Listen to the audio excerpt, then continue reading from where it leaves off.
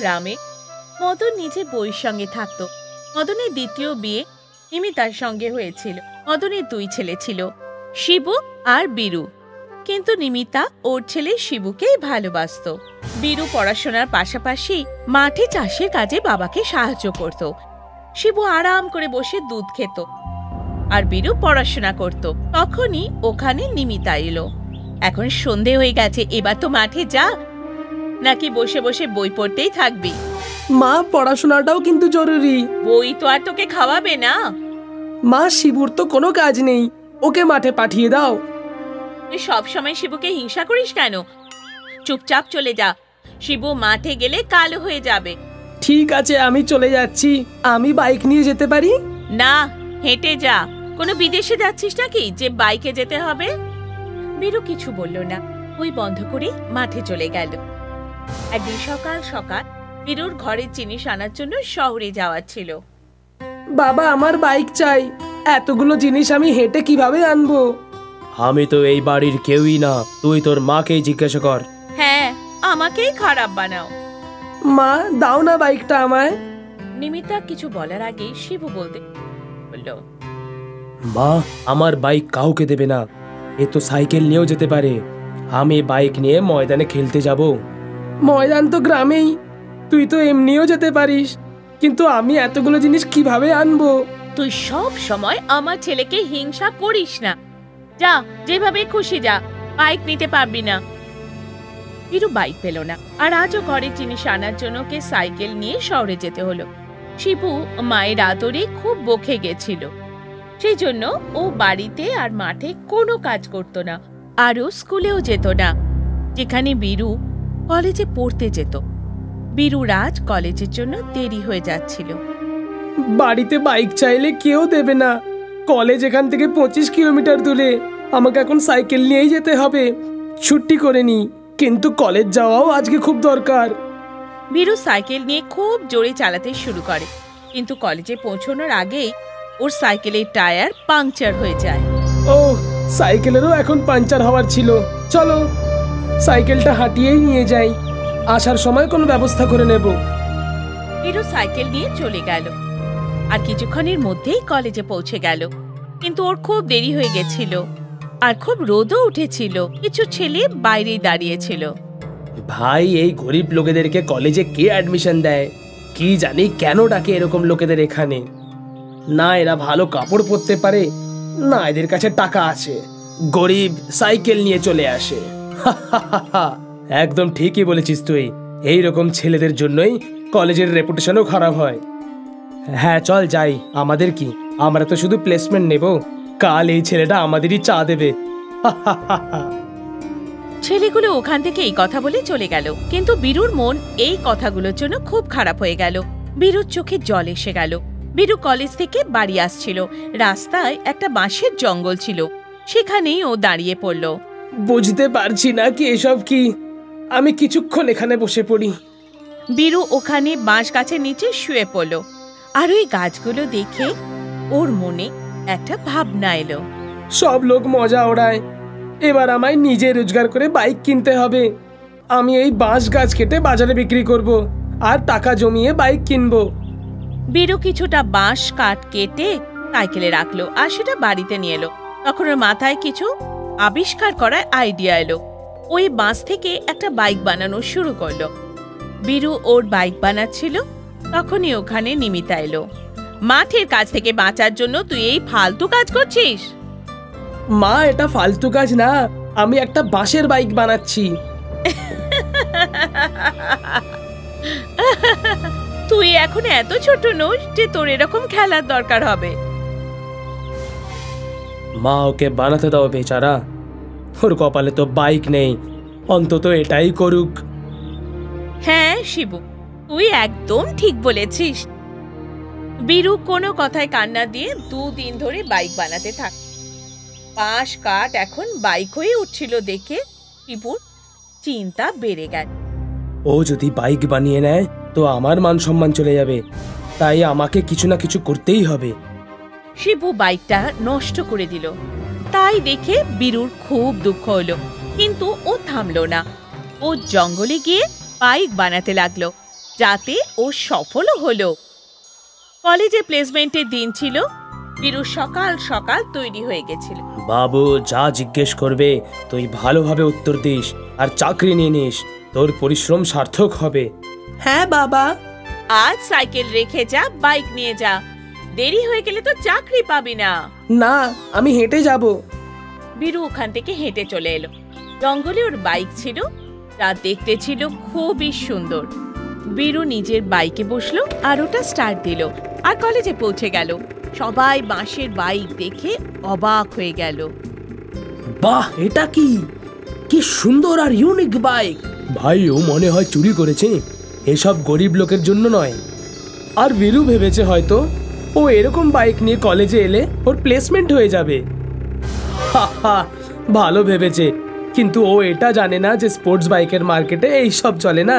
সবাই আগে এগিয়ে যাচ্ছে আর ও আদি মানবের দিকে এগিয়ে যাচ্ছে। ছেলেগুলো বীরুর খুব মজা ওড়ায়, কিন্তু তখনই একজন প্রফেসর বাইকটা দেখে বীরুর কাজের জন্য বাহবা দিলেন। কয়েক ঘণ্টার মধ্যেই ইন্টারভিউ শেষ হয়ে গেল। সব স্টুডেন্টদের একটা হলে জড়ো করা হলো। এই তুই এখানে কেন দাঁড়িয়ে আছিস? তোর সিলেকশন হয়নি। যা নিজের বাড়ি ফিরে যা। বীরু কিছু বলার আগে প্রফেসর মাইক নিয়ে বলতে শুরু করলেন আজ একটা অদ্ভুত ব্যাপার হয়েছে যাতে আমাদের কলেজের নাম অনেক হয়েছে আর প্রকৃতিকেও সম্মান দিয়েছে। এর ফলে ভবিষ্যতে দূষণ থেকে মানুষ বাঁচতে পারবে। আর এই বাইক যা জল দিয়ে চলে তার ফলে পেট্রোলের দামের জন্যও সাধারণ মানুষের কোনো অসুবিধা হবে না। সবাই খুব হাততালি দিল। আর আমাদের কলেজের নাম যে স্টুডেন্টের জন্য বেড়েছে তার নাম হলো ভিরু যাকে একটা কোম্পানি খুব ভালো প্যাকেজে নিজের কোম্পানিতে বাঁশের বাইক বানানোর জন্য নিয়োগ করেছে। সবাই বীরুর জন্য হাততালি দিল। বীরু পুরস্কার পেল ও বাঁশের বাইক চালিয়ে বাড়ি এলো আর সব কথা বলল। এসব শুনে বাবা মদন খুব খুশি হলো। মা আর ভাইয়ের খুব আফসোস হলো। আশেপাশে গ্রামে বীরুকে নিয়ে কথা হতে লাগল। সবাই বাঁশের বাইক দেখতে আসতে লাগল। একটা গ্রামে মদন নিজে বইয়ের সঙ্গে থাকতো। মদনের দ্বিতীয় বিয়ে নিমিতার সঙ্গে হয়েছিল।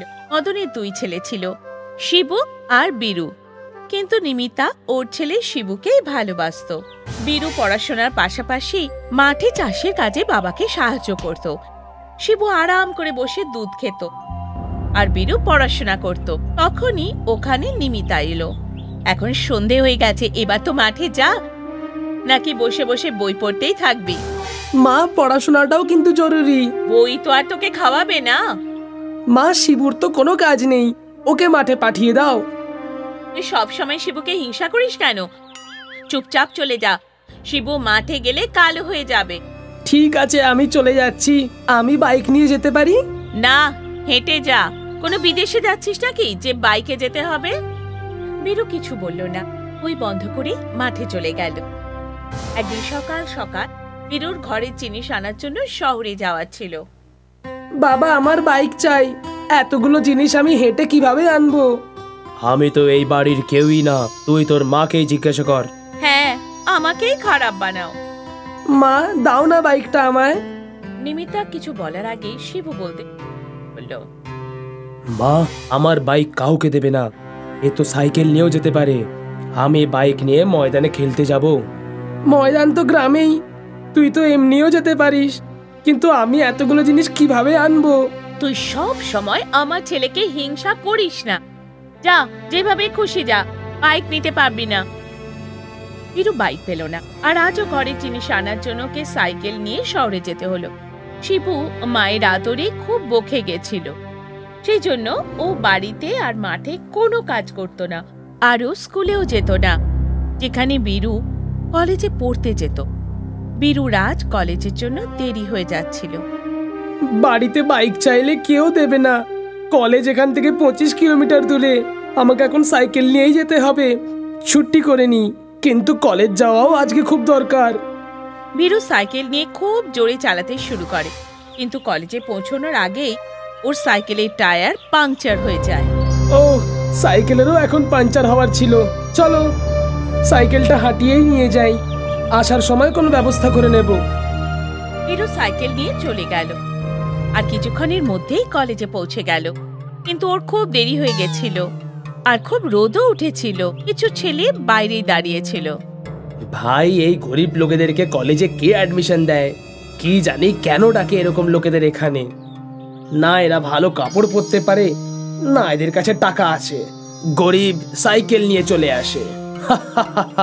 একদম ঠিকই বলেছিস তুই। এই রকম ছেলেদের জন্যই কলেজের রেপুটেশনও খারাপ হয়। হ্যাঁ চল যাই। আমাদের কি? আমরা তো শুধু প্লেসমেন্ট নেব। কাল এই ছেলেটা আমাদেরই চা দেবে। ছেলেগুলো ওখান থেকে এই কথা বলে চলে গেল। কিন্তু বীরুর মন এই কথাগুলোর জন্য খুব খারাপ হয়ে গেল। বীরুর চোখে জল এসে গেল। বীরু কলেজ থেকে বাড়ি আসছিল। রাস্তায় একটা বাঁশের জঙ্গল ছিল। সেখানেই ও দাঁড়িয়ে পড়ল। বুঝতে পারছি না কি এসব কি।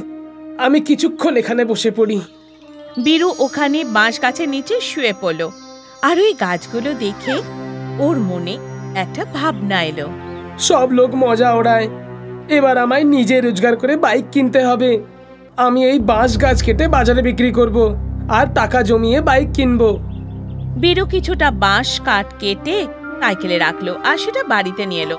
তখন ওর মাথায় কিছু আবিষ্কার করার আইডিয়া এলো। ওই বাঁশ থেকে একটা বাইক বানানো শুরু করল। বীরু ওর বাইক বানাচ্ছিল তখনই ওখানে নিমিতা এলো। মাঠের কাজ থেকে বাঁচার জন্য তুই এই ফালতু কাজ করছিস? মা এটা ফালতু কাজ না। আমি একটা বাঁশের বাইক বানাচ্ছি। তুই এখন এত ছোট নোস যে তোর এরকম খেলার দরকার হবে। মা ওকে বানাতে দাও বেচারা। ওর কপালে তো বাইক নেই। অন্তত এটাই করুক। হ্যাঁ শিবু তুই একদম ঠিক বলেছিস। বীরু কোনো কথায় কান্না দিয়ে দুদিন ধরে বাইক বানাতে থাক। পাশ কাঠ এখন বাইক হয়ে উঠছিল দেখে শিবুর চিন্তা বেড়ে গেল। ও যদি বাইক বানিয়ে নেয় তো আমার মান সম্মান চলে যাবে। তাই আমাকে কিছু না কিছু করতেই হবে।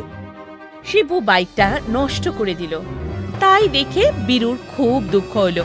কিন্তু ও থামলো না। ও জঙ্গলে গিয়ে বাইক বানাতে লাগল যাতে ও সফলও হলো। কলেজে প্লেসমেন্টের দিন ছিল। বীরু সকাল সকাল তৈরি হয়ে গেছিল। বাবু যা জিজ্ঞেস করবে তুই ভালোভাবে উত্তর দিস আর চাকরি নিয়ে নিস। তোর পরিশ্রম সার্থক হবে। হ্যাঁ বাবা। আজ সাইকেল রেখে যা বাইক নিয়ে যা। দেরি হয়ে গেলে তো চাকরি পাবি না। না আমি হেঁটে যাব। বীরু ওখান থেকে হেঁটে চলে এলো। জঙ্গলে ওর বাইক ছিল। তা দেখতে ছিল খুবই সুন্দর। বীরু নিজের বাইকে বসল, আর ওটা স্টার্ট দিল, আর কলেজে পৌঁছে গেল। সবাই বাঁশের বাইক দেখে অবাক হয়ে গেল। বাহ, এটা কি? কি সুন্দর আর ইউনিক বাইক। ভাই, ও মনে হয় চুরি করেছে। এসব গরিব লোকের জন্য নয়। আর বীরু ভেবেছে হয়তো ও এরকম বাইক নিয়ে কলেজে এলে ওর প্লেসমেন্ট হয়ে যাবে। ভালো ভেবেছে। কিন্তু ও এটা জানে না যে স্পোর্টস বাইকের মার্কেটে এই সব চলে না। সবাই আগে এগিয়ে যাচ্ছে আর ও আদি মানবের দিকে এগিয়ে যাচ্ছে। ছেলেগুলো বীরুর খুব মজা ওড়ায় কিন্তু তখনই একজন প্রফেসর বাইকটা দেখে বীরুর কাজের জন্য বাহবা দিলেন। কয়েক ঘণ্টার মধ্যেই ইন্টারভিউ শেষ হয়ে গেল। সব স্টুডেন্টদের একটা হলে জড়ো করা হলো। এই তুই এখানে কেন দাঁড়িয়ে আছিস? তোর সিলেকশন হয়নি। যা নিজের বাড়ি ফিরে যা। বীরু কিছু বলার আগে প্রফেসর মাইক নিয়ে বলতে শুরু করলেন। আজ একটা অদ্ভুত ব্যাপার হয়েছে যাতে আমাদের কলেজের নাম অনেক হয়েছে আর প্রকৃতিকেও সম্মান দিয়েছে। এর ফলে ভবিষ্যতে দূষণ থেকে মানুষ বাঁচতে পারবে। আর এই বাইক যা জল দিয়ে চলে তার ফলে পেট্রোলের দামের জন্যও সাধারণ মানুষের কোনো অসুবিধা হবে না। সবাই খুব হাততালি দিল। আর আমাদের কলেজের নাম যে স্টুডেন্টের জন্য বেড়েছে তার নাম হলো ভিরু যাকে একটা কোম্পানি খুব ভালো প্যাকেজে নিজের কোম্পানিতে বাঁশের বাইক বানানোর জন্য নিয়োগ করেছে। সবাই বীরুর জন্য হাততালি দিল। বীরু পুরস্কার পেল ও বাঁশের বাইক চালিয়ে বাড়ি এলো আর সব কথা বলল। এসব শুনে বাবা মদন খুব খুশি হলো। মা আর ভাইয়ের খুব আফসোস হলো। আশেপাশে গ্রামে বীরুকে নিয়ে কথা হতে লাগল। সবাই বাঁশের বাইক দেখতে আসতে লাগল।